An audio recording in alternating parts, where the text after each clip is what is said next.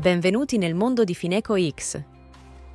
In questo tutorial ti insegnerò a ricercare un titolo e a inserire un ordine direttamente dal Global Search.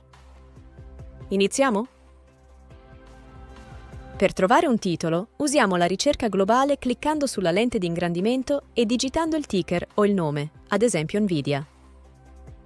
Una volta trovato il titolo, clicchiamo su di esso per aprire la scheda dettagliata.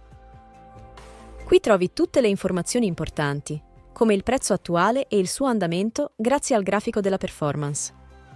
Il miglior prezzo di vendita e di acquisto in tempo reale. Infine le ultime notizie.